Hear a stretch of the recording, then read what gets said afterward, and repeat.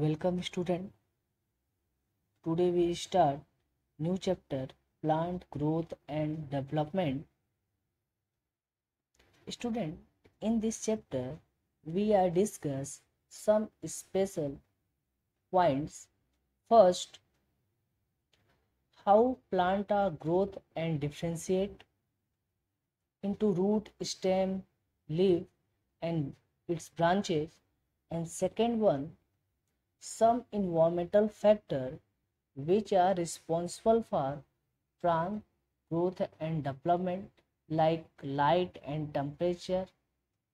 And third one some chemicals which are synthesized in plant and responsible for plant growth and development which are called phytohormones or plant regulators.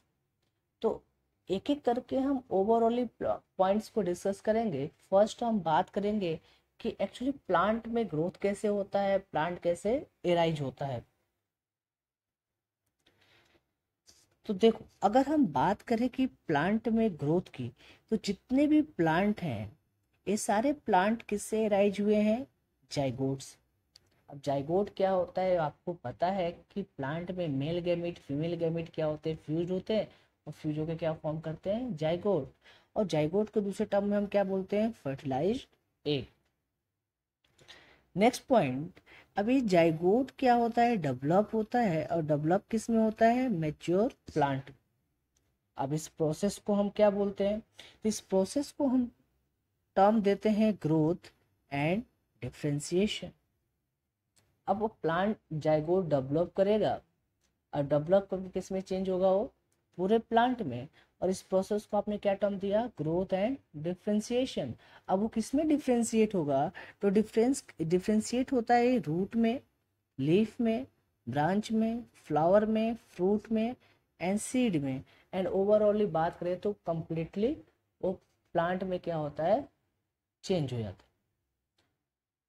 है। Then जब पूरा mature plant में convert हो जाता है then वो plant क्या है, अपनी पूरी लाइफ स्पेन को कंप्लीट करता है ओवरऑल बात करें तो अपने मेटाबॉलिज्म को कंप्लीट करता है एंड लास्ट में क्या होता है, वो उसकी डेथ हो जाती है।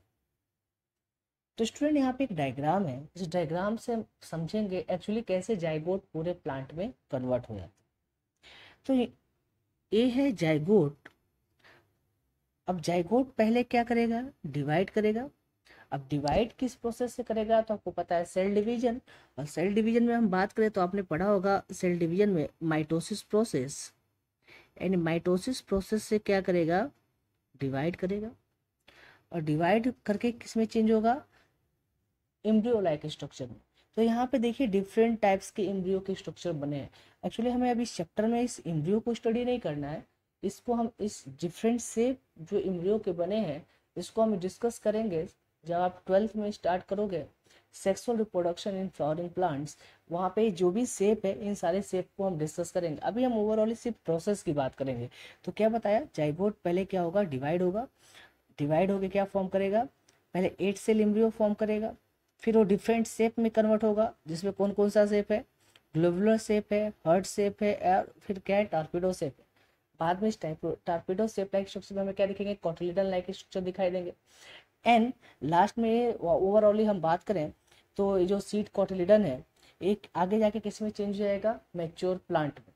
या किसमें कन्वर्ट हो जाएगा? मेच्योर प्लांट में। अब मेच्योर प्लांट में कैसे कन्वर्ट होगा? तो आपको पता है सीड में दो रीजन प्रेजेंट होते हैं। ऊपर वाले रीजन को हम टर्म कह देते हैं एपिकॉटिल अब एपिकॉटिल आगे जाके क्या फॉर्म करता है? प्रीम्यूल वाला रीजन और प्रीम्यूल वाला रीजन किसमें चेंज हो जाएगा आपका? स्टेम वाले पार्ट एंड नेक्स्ट जो नीचे वाला पार्ट को हम टर्म कह देते हैं हाइपोकॉटिल और हाइपोकॉटिल रीजन अकेला क्या फॉर्म करता है? रेडिकल वाला पार्ट और रेडिकल वाला रीजन आगे जाके किसमें डिफ्रेंशिएट होता है आपका? रूट वाले पार्ट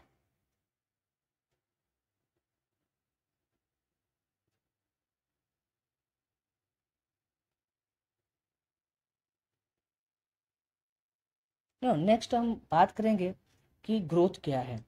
तो देखो, अगर हम ग्रोथ की बात करें तो ग्रोथ क्या है? Growth is a irreversible permanent increase in size of organ और इट्स पार्ट और इन और एन इंडिविजुअल सेल मीन्स क्या है? ग्रोथ कैसा है? कॉन्टिन्यूस प्रोसेस है इरिवर्सिबल प्रोसेस है।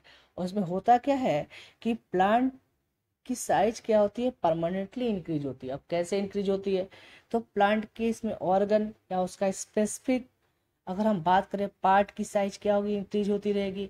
या अगर हम बात करें उसकी इंडिविजुअल सेल की तो उसकी इंडिविजुअल सेल की भी साइज़ क्या होती है? इंक्रीज होती रहती है। नेक्स्ट पॉइंट की अगर हम बात करें तो अब बोलते हुए जो ग्रोथ प्रोसेस है, इसमें एक, इसमें कैसा प्रोसेस है? ये मेटाबॉलिक प्रोसेस है। मीन्स इसमें क्या, किसकी ज़रूरत पड़ती है एनर्जी की। तो यानी आपने क्या बोला कि growth is a metabolic process which involve या विच कंज्यूम एनर्जी अब ये एनर्जी किस फॉर्म में प्लांट आप यूज़ करेगा? तो आपको पता है एटीपी क्या होती है? मेन आपकी एनर्जी करेंसी होती है, जो लिविंग सिस्टम में क्या होते हैं? मेटाबॉलिक प्रोसेस में यूज़ करते हैं। जैसे आप बोलते तो एनिमल सेल या प्लांट सारे क्या होते हैं? मेटाबॉलिक एनर्जी में एटीपी ही क्या करते हैं? यूज़ करते हैं। अब देखो ये एक नॉर्मल डायग्राम है। ये आपका सीड जर्मिनेट हुआ। पहले क्या हुआ? ये ग्रो करेगा। आप बोलोगे स्टेम वाले रीजन में बाद में डिफ्रेंशिएट हो जाएगा। ब्रांच में लीफ में और आप बात करते हो कि आगे जाके इसमें क्या होगा? फ्लावरिंग फ्रूटिंग वगैरह सारे क्या होंगे? प्रेजेंट होंगे।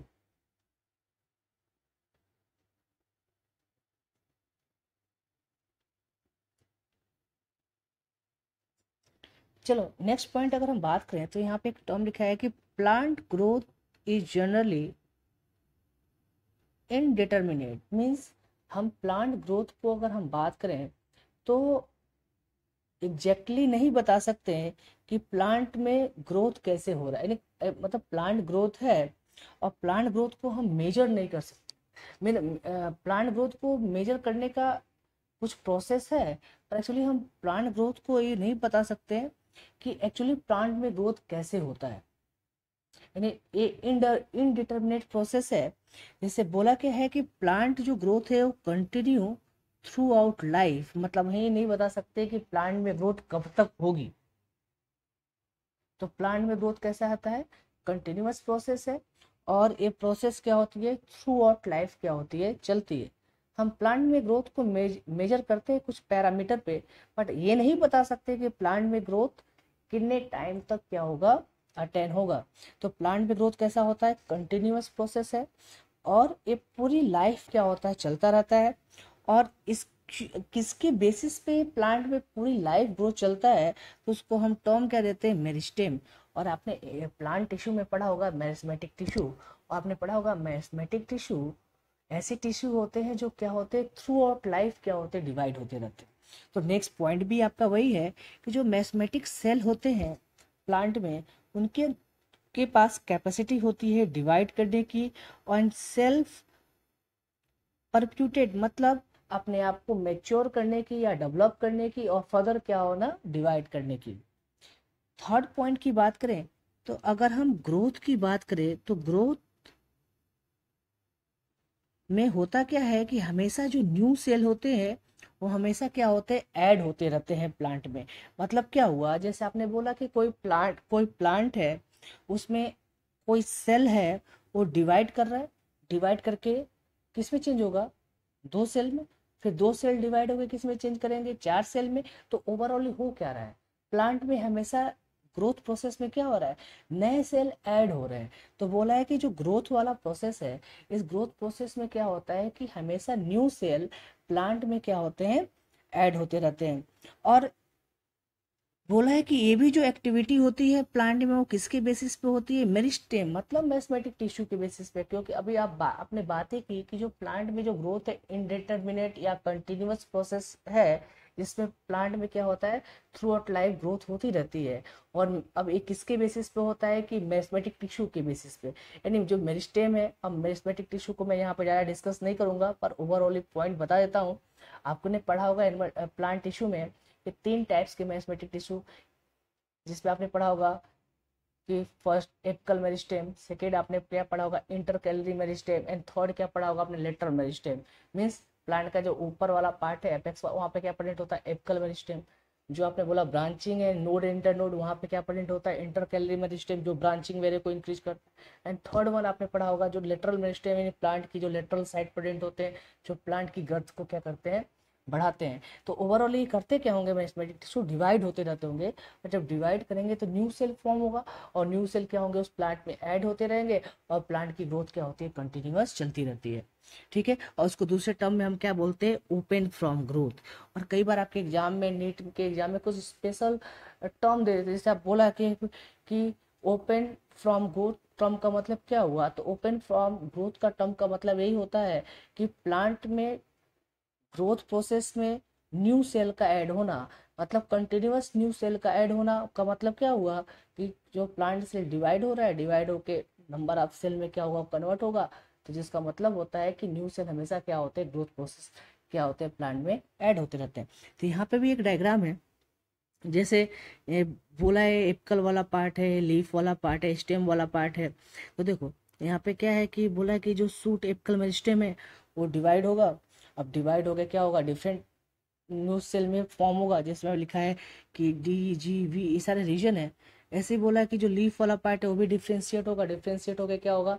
नए सेल में कन्वर्ट होगा। वो सेल क्या होंगे? ऐड होंगे, फिर मेच्योर होंगे फर्दर डिवाइड करेंगे। ऐसे ही बोला जो स्टेम वाला पार्ट है, उसको आप सेक्शन करके देखो तो वहाँ पे क्या दिखाएँगे? डिफरेंट टाइप्स के आपको सेल दिखाई देंगे। ये सेल क्या होंगे? डिवाइड होते रहते हैं, डिवाइड होकर नए सेल फॉर्म करते हैं, वो नए सेल क्या होते हैं? ऐड होते रहते हैं और प्लांट की क्या होती है? स्टेम की ग्रोथ क्या होती है? बढ़ती रहती है।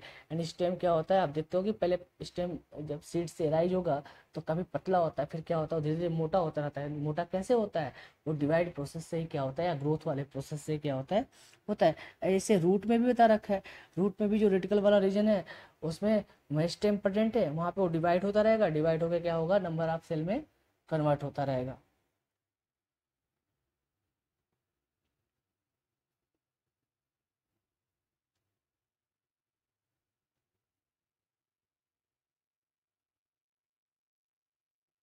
चलो नेक्स्ट फिर वही पॉइंट तो बोला है कि जो, अभी बोला कि प्लांट का जो ग्रोथ है जनरली कैसा होता है? इनडिटर्मिनेट मैंने बोल दिया, आप इसको नहीं बता सकते कि प्लांट में कब तक ग्रोथ होगा. अभी आपने पढ़ा थ्रू आउट लाइफ होगा ग्रोथ तो अब बोला है कि प्लांट में ग्रोथ को हम किस पैरामीटर पे देख सकते हैं? तो बोला है कि प्लांट में जो ग्रोथ होती है, उसको हम कुछ टर्म में पढ़ते हैं. पहला क्या है आपका? प्राइमरी ग्रोथ कि प्लांट में प्राइमरी ग्रोथ क्या है? बोला है it occur due to root apical meristem and shoot apical meristem. बोला है कि जो प्लांट में प्राइमरी ग्रोथ होता है, वो प्राइमरी ग्रोथ कैसे होता है? प्राइमरी ग्रोथ होता है सबसे पहले रूट एपिकल मेरिस्टेम से एंड सूट एपिकल मेरिस्टेम मतलब रूट एपेक्स पे जो मेरिस्मेटिक टिश्यू है, वो डिवाइड होकर पूरे रूट यानी ब्रांचिंग में कन्वर्ट हो जाते हैं। पूरे रूट में जो आप बोलते हो लेटर ब्रांचिंग वगैरह होती है, सबके लिए रिस्पॉन्सिबल कौन है आपका रूट एपिकल मेरिस्टेम है। वैसे सूट में जो एपिकल मेरिस्टेम है वो डिवाइड होकर क्या होता है? सूट की लेंथ क्या करता है या स्टेम लेंथ क्या होता है बढ़ाता है। बोला, इसके बेसिस पे क्या होता है? इलोंगेशन होता है प्लांट में। अब इलोंगेशन का मतलब क्या हुआ? रूट में भी इलोंगेशन हुआ तो रूट की साइज़ या लेंथ बढ़ी, ऐसे स्टेम में इलोंगेशन होगा तो स्टेम की हाइट लेंथ या ब्रांचिंग क्या होगी? स्टेम में बढ़ेगी। सेकेंड क्या है? आप बोलते हो सेकेंड को हम तो हम देखते हैं सेकेंडरी ग्रोथ अब सेकेंडरी ग्रोथ प्लांट में कैसा होता है? अब सेकेंडरी ग्रोथ प्लांट में होगा तो आप बोलते हो सेकेंडरी ग्रोथ जनरली आप किसमें देखते हो? जिम्नोस्पोम में देखते हैं और किसमें देखते हैं? डाइकॉट में देखते हैं। तो आप बोलते हो कि जो जिम्नोस्पोम में और एंजियोस्पोम में हम किसमें देखेंगे? डाइकॉट में। तो बोला जो सेकेंडरी ग्रोथ जनरली किसके बेसिस पे होता है? लेटरल मेरिस्टेम के। और किसके बेसिस पे होता है? Vascular cambium and cork cambium के बेसिस पे। तो आपने बोला कि जो सेकेंडरी ग्रोथ है वो किसमें होगा? जिम्नोस्पोम है डाइकॉट में। अब ये होता किसके बेसिस पे है? तो vascular cambium cork cambium and lateral meristem तो एक्चुअली आपने प्लांट टिश्यू में तीनों टर्म को डिटेल स्टडी किया है। तो आपको पता है लेटरल मेरिस्टेम कहाँ पर एंटर है? प्लांट के लेटरल साइड पे। ओ डिवाइड होते रहेंगे मेरिस्टेम और प्लांट की ग्रोथ क्या होती है? बढ़ती रहती है। ऐसे ही वेस्कुलर कैम्बियम कहाँ पर होगा जो आपके वेस्कुलर बंडल है, वहाँ पे भी जो वहाँ पे जो आप पढ़े हुए पैरेंट कैमिटस सेल होते हैं, जो आपने पढ़ा होगा इंटरफेस्कुलर कैम्बियम ये ये भी क्या होता है आपकी मैथमेटिक्स टिश्यू ही है, जो पेरेंकाइमेटस टिश्यू है, ये डिवाइड होते रहते हैं और रिंग लाइक स्ट्रक्चर फॉर्म करते हैं। जैसे जैसे रिंग बढ़ती जाती है प्लांट में क्या होता है सेकेंडरी ग्रोथ क्या होता है, होता जाता है। ठीक है? और लास्ट में आपने पढ़ा का कैम्बियम जो आपने पढ़ा होगा ना बार्क फॉर्मेशन प्लांट में तो जो सबसे बाहर में बार्क फॉर्मेशन मेरे होता है, वो भी किसके बेसिस पे होता है? कॉर कैम्बियम के बेसिस पे से होता है। तो ओवरऑल सेकेंडरी ग्रोथ के लिए भी रिस्पॉन्सिबल कौन है आपके? जो लेटरल मेरिस्टेम है वेस्को कैम्बियम है और कॉर कैम्बियम है। तो ये भी क्या है आपका? प्लांट के ग्रोथ का एक क्या है? टाइप है। बोला है कि जिसके बेसिस पे प्लांट की ग्रोथ क्या होती है? इंक्रीज होती है। तो आपको बता दिया मैंने। तो वह यहाँ पे डायग्राम है। अब इस डायग्राम में देखो, बोला है कि जो सूट के ऊपर एप्पल मेरिस्टेम है, ये क्या होगा? डिवाइड होकर क्या होगा? इसकी लेंथ को बढ़ाएगा। सेम वैसे ही जो रूट में मेरिस्टेम होगा, वो उसकी ब्रांचिंग वेरे बढ़ाएगा रूट की। एंड थर्ड वन अगर बात करें, आप बोलते हो स्टेम स्टेम में आप होगा, उसका सेक्शन कट करें तो यहाँ पर क्या दिखाई देगा? वेस्को बंडल दिखाई देंगे, ठीक है? और इन वेस्को बंडल में आप बोलोगे तो एक वेस्को बंडल, दूसरे वेस्को बंडल के बीच में जो सेल होंगे, उसको हम टर्म कह देते हैं? वो आपका होता है एक्चुअली पेरेंकाइमेटस सेल अब ये पेरेंकाइमेटस सेल जो होते हैं, ये क्या होते हैं? डिवाइड होते रहते हैं, और डिवाइड होकर क्या होते हैं? वापस क्या होते हैं? एक वेस्को बंडल के बीच में जो जो वेस्को कैम्बियम प्रेजेंट है, उसको कनेक्टेड हो जाते हैं, और किसको हम टॉम देते हैं? इंटरफेस्कुलर कैम्बियम तो ओवरऑल एक रिंग फॉर्म होती है। ठीक है? यानी वेस्को कैम्बियम क्या है, एक रिंग फॉर्म होती है और ये आगे जाके किसमें रिस्पॉन्सिबल होती है? प्लांट की ग्रोथ को बढ़ाने में आप बोल सकते हो कि प्लांट का जो डायमीटर बढ़ता है वो किसके बेसिस पे बढ़ता है? वेस्को कैम्बियम के बेसिस पे ही बढ़ता है। ठीक है? तो एक एक, ये तो हो गया आपका सेकेंडरी ग्रोथ अब प्राइमरी ग्रोथ में देखो, आपने बोला प्राइमरी ग्रोथ में क्या एपिडर्मिस यानी आप बोलते हो जो एपिडर्मल टिश्यू सिस्टम है और जो ग्राउंड टिश्यू सिस्टम है ठीक है, बीच में क्या आता है आपका? कॉर्टिकल टिश्यू सिस्टम मीन्स आप बोलते हो कि epidermis cortex primary phloem primary xylem और पिथ वाला रीजन ये सारे जो ग्रोथ होते हैं, ये सारे ग्रोथ के लिए रिस्पॉन्सिबल कौन है आपका? मैथमेटिक क्या है आपका? टिश्यू ही है, ठीक है? अगर स्टेम की बात करें तो जो स्टेम एपकल मेरिस्टेम और रूट में बात करें तो रूट एपकल मेरिस्टेम सेम ऐसे यहाँ पे एक डायग्राम है। देखो आपने यहाँ पे देखो सूट है, ठीक है? तो अगर इसका सेक्शन का देखें तो इसमें वेस्ट्रोकेमियम प्रेजेंट है। अब रूट की बात करें तो रूट का भी अगर हम डाइकोट रूट की बात करें, उसका सेक्शन करें, उसमें भी वेस्ट्रोकेमियम प्रेजेंट होगा। अब ये करेगा क्या? इसकी ग्रिथ को क्या करेगा? बढ़ाएगा। यहाँ पे भी क्या होगा? स्टेम की ग्रिथ बढ़ेगी। अगर हम एपिकल मेरिस्टेम की बात करें तो इसकी क्या करेगा? लेंथ को बढ़ाएगा। और रूट की बात करें तो रूट में जो आप ब्रांचिंग वगैरह देखते हो, वो किसके बेसिस पे दिखाई देता है? इस एपिकल मेरिस्टेम के बेसिस पे दिखाई देता है।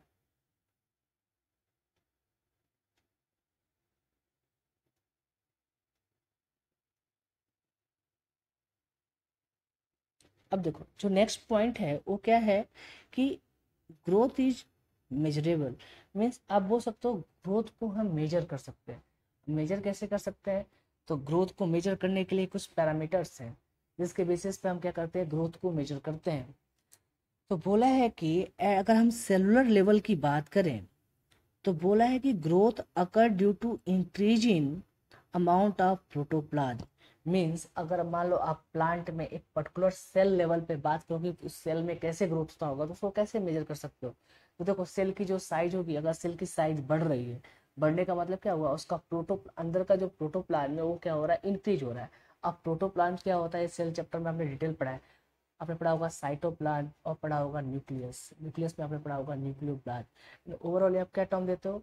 जो साइटोप्लान है प्लस न्यूक्लियोप्लान इसको कंबाइन कर दे तो टोटल कंस्टिट्यूट ऑफ़ सेल बनता है। जिसको हम टर्म कह देते हैं? प्रोटोप्लान यहाँ पर एक ए, अगर हम बात करें प्रोटोप्लान तो जैसे आपने बोला ये सेल है और सेल के अंदर जो भी मैट्रिक्स है इन पूरा मैट्रिक्स जिस इसमें हम न्यूक्लियस वाला भी पार्ट पढ़ हैं साइटोप्लाज्म वाला। इन ओवरऑल ही बात करें जो भी प्लाज्म इसको हम टर्म कह देते हैं? प्रोटोप्लान तो बोला है कि अगर हम एक सेल लेवल पे बात करें तो प्लांट के के अंदर जो सेल है वो सेल का जो प्रोटोप्लान्स का बढ़ना वो क्या है आपका? सेलुलर ग्रोथ कहलाता है। अब बोला है कि प्लांट में जो प्रोटोप्लान्स का इंक्रीज होना, अब इसको आप आसानी से मेजर नहीं कर सकते इनडायरेक्टली मेजर नहीं कर सकते। ये क्या एक डिफ़िकल्ट प्रोसेस है जिसके थ्रू हम मेजर करेंगे? तो बोला है कि जो ग्रोथ को हम किस बेसिस पे मेजर करते हैं? कुछ पैरामीटर जैसे आप बोलते हो कि प्लांट का जो फ्लैश वेट यानी ओवरऑल प्लांट का जो वेट बढ़ रहा है, ठीक है? उसको हम मेजर कर सकते हैं। या तो हम क्या कर सकते हैं? प्लांट का ड्राई वेट मेजर कर सकते हैं। या तो उसका लेंथ के बेसिस पे हम प्लांट की ग्रोथ मेजर कर सकते हैं। या तो एरिया मतलब आप उसका प्लांट की एरिया बढ़ रही है, ठीक है? तो ग्रथ वेरी की जिसको आप बोलते हो तो उसको हम क्या बोलते हैं, उसके बेसिस पे मेजर कर सकते हैं। या नेक्स्ट हम बात करें तो जो प्लांट का वॉल्यूम बढ़ रहा है, ठीक है? उसके बेसिस पे मेजर कर सकते हैं। या तो प्लांट डिफ्रेंशिएट हो रहा है, यानी आप बोलते हो ना छोटा सा प्लांट अगर आप बोलते हो जर्मिनेट होता है सॉइल से तो आगे जाके पूरे मेच्योर प्लांट में उसकी हाइट लेंथ सब बढ़ जाती है। तो कैसे बढ़ता होगा? उसमें सेल डिवाइड होते होते होंगे तो हमने बोला कि सेल नंबर के बेसिस पे भी हम क्या बोल सकते हैं? प्लांट की ग्रोथ को मेजर कर सकते हैं। ओवरऑल ये सारे ग्रोथ किसके बेसिस पे है? प्रोटोप्लांट्स के बढ़ने के बेसिस पे ही है। पर डायरेक्टली एक पर्टिकुलर सेल लेवल पे हम अगर बात करें कि एक प्रोटोप्लांट इंक्रीज हो रहा है तो कितना इंक्रीज हो रहा है? आसानी से नहीं इसको मेजर कर सकते। बट हम ऐसा बोले कि एक प्लांट है प्लांट में कितना ग्रोथ हुआ तो उसके कुछ पैरामीटर हैं। अब आप बोल सकते हो कि उस प्लांट का पूरा फ्लैश वेट देख के आप बता सकते हो कि इनिशियल वेट ऐसा होगा फ्लैश वेट इतना है तो प्लांट में कितना ग्रोथ हुआ। दूसरा प्लांट का dry weight in water amount वगैरह निकाल के बात करें तो प्लांट का ड्राई वेट में कितना ग्रोथ है, उसके बेसिस पे हम डिस्कस कर सकते हैं। दूसरा लेंथ है एरिया है वॉल्यूम है एंड सेल नंबर इन सब के बेसिस पे हम क्या कर सकते हैं प्लांट की ग्रोथ को क्या कर सकते हैं मेजर कर सकते हैं। अब बोला है कि एग्ज़ाम्पल के बेसिस पे जैसे सेल नंबर है। बोला है कि एक एग्ज़ाम्पल एक मेज रूट है एक मेज रूट एप्कल मेरिस्टेम, ये कितना प्रोड्यूस कर सकता है? Seven thousand five hundred new cell per hour तो देखो, अगर सेल नंबर के बेसिस पे भी बोला ना कि आप मेजर कर सकते हो तो जैसे एग्जांपल दे रखा है, एक मेज रूट का जो एप्कल मेरिस्टेम है, वो एक घंटे में कितने सेल प्रोड्यूस कर सकता है? सेवनटीन थाउज़ेंड फाइव हंड्रेड ये आई भी आपके एग्ज़ाम में आ सकता है क्वेश्चन ठीक है? सेकेंड अगर हम आपने बोला सेल साइज़ पे कैसे हम मेजर करेंगे तो सेल साइज़ के बेसिस पे एग्जांपल दे रखा है। सेल इन वाटरमेलन में increase in size by up to three lakh fifty thousand time बोला है कि अगर हम बात करें ना सेल की साइज़ कितना बढ़ सकते हैं तो बोला है कि जो वाटरमेलन है, ठीक है, जो अगर वाटरमेलन का सेल की बात करें, छोटा जब सिंगल सेल है, वो आगे जाके कितनी साइज़ इंक्रीज कर सकता है? तो बोला है कि three lakh fifty thousand time अपनी साइज़ को क्या कर सकता है? बढ़ा सकता है। नेक्स्ट ऐसे ही थर्ड बात करें लेंथ की। लेंथ के बेसिस पे कैसे कर सकते हैं? बोला growth of a pollen tube अब देखो ये आपने पोलन ट्यूब के फ़िलहाल अभी ग्रोथ को नहीं पढ़ा होगा लेकिन फिर भी आ, आपको पता है ना कि जब पोलन ग्रीन फॉल होता है पोलन सिंगल सेल है पोलन ग्रीन फॉल होता है स्टिग्मा के ऊपर। तो स्टिग्मा के ऊपर क्या होता है? वो वो सेटल होता है, वहाँ से क्या होता है? पोलन ट्यूब फॉर्म होता है। अब ये कैसे होता है? अभी डायग्राम के बेसिस पे हम देखेंगे। एंड थर्ड क्या है आपका? सरफेस एरिया तो सरफेस एरिया के बेसिस पे कैसे हम देख सकते हैं? जैसे आपने बोला डॉर्सिवेंट्रल लीफ है एंड डाइकोट लीफ है। जब लीफ फॉर्म होता होगा तो उसकी साइज़ छोटी होगी धीरे धीरे क्या होता है? वो डिवाइड होता रहता है सेल प्रोटोप्लान बढ़ता है डिवाइड होता रहता है। और डिवाइड होकर क्या होती है, उसकी लेंथ क्या होती है अब लेंथ कैसे बढ़ती है? सरफेस एरिया ही बढ़ता है लीफ का। लीफ ब्लेड की साइज़ बढ़ती है, यानी सरफेस एरिया का बढ़ना, इसके बेसिस पे हम क्या बोल सकते हैं कि उस प्लांट में ग्रोथ हो रहा है। तो देखो यहाँ पे डायग्राम बने हैं। इन डायग्राम के बेसिस पे हम देख सकते हैं कि प्लांट में कैसे ग्रोथ होता है। तो देखो, आपने क्या बोला कि जैसे रूट है, ठीक है? अब रूट एप्कल मेरिस्टेम क्या हुआ? अपने बोला इमेज रूट है। अब ये डिवाइड होके किन्ने बताया? सेवनटीन जो एप्कल रूट एप्कल मेरिस्टेम जो रूट का एप्कल मेरिस्टेम है ये पर आवर कितने सेल फॉर्म कर सकता है? Seventeen thousand five hundred image का डायग्राम बना रखा है। सेकेंड बोला ये वाटरमेलन के इसके जो सेल है, ये कितने साइज़ तक अपने नंबर को बढ़ा सकते हैं? तो बोला है कि three lakh fifty thousand time अपने साइज़ को इंक्रीज कर सकता है। थर्ड क्या बताया था? लेंथ के बेसिस तो लेंथ के बेसिस पे आपने क्या बोला था? इसे पोलन ट्यूब है। यानी ये पोलन ट्यूब देखो, ये पोलन ट्यूब क्या है? पोलन ग्रेन फॉल होता है।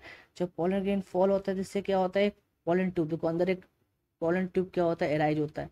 इसी के थ्रू क्या होता है? मेल गेमिट कहाँ तक पहुँचता है? ओवरी तक पहुँचता है। ठीक है? ठीक है? अब बोला ये पोलन ट्यूब जो बढ़ रहा है वो क्या है पोलन ट्यूब की जो लेंथ बढ़ रही है, वो किसके बेसिस बढ़ रही है? आप बोलते हो ना ग्रोथ के बेसिस पे ही हो रहा है। तो ये भी क्या है ग्रोथ को मेजर करने का एक टाइप है। थर्ड आपने क्या बोला? ये लीफ है। लीफ का जो सरफेस एरिया इंक्रीज हो रहा है, ये भी क्या है, आपका ग्रोथ को मेजर करने का क्या है, एक पैरामीटर है, जिसके बेसिस पे हम क्या कर सकते हैं ग्रोथ को मेजर कर सकते हैं।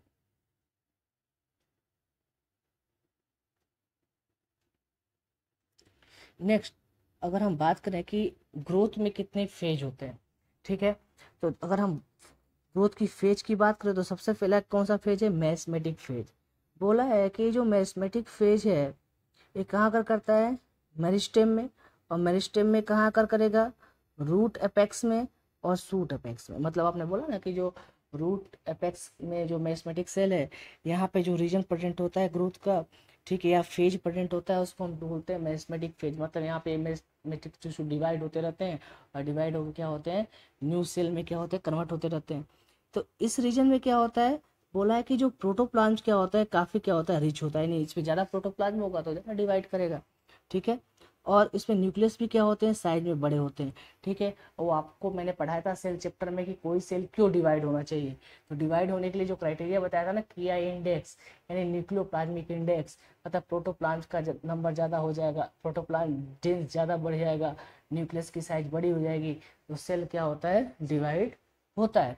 तो वही बोला है कि जो मैथमेटिक रीजन है एपेक्स सेल वाले रीजन है, यहाँ पे क्या होता है कि प्रोटोप्लाज्म क्या होता है? ज़्यादा होता है और न्यूक्लियस भी क्या होता है? जो बड़े होते हैं तो सेल क्या होता है? डिवाइड होता है। बोला जो सेल वॉल होता है, वो कैसा होता है? प्रिमली होता है। यहाँ पे सेल वॉल क्या होता है? सेकेंडरी सेल वॉल नहीं दिखाई देता। थिन होता है और किसका बना होता है? सेलुलोज का बना होता है। और जिसमें क्या होता है? अवेंडेंट प्लाज्मोडेस्मेटा होते हैं। यानी जिस आसानी से क्या हो सकता है, उसमें न्यूट्रिएंट का ट्रांसफ़र हो सकता है। ओवरऑल ये सारा कंडीशन किसके लिए है? मेस्मेटिक टिश्यू के डिवाइड होने के लिए। तो पहला जो फ़ेज़ है ग्रोथ का उसको हम टर्म कह देते हैं? मेस्मेटिक फ़ेज़ एंड सेकेंड जो फ़ेज़ है उसको हम टर्म देते हैं इलोंगेशन फ़ेज़ बोला है कि अब इलोंगेशन फ़ेज़ कहाँ प्रेजेंट होगा? तो बोला जो इलोंगेशन फ़ेज़ कहाँ प्रेजेंट होता है?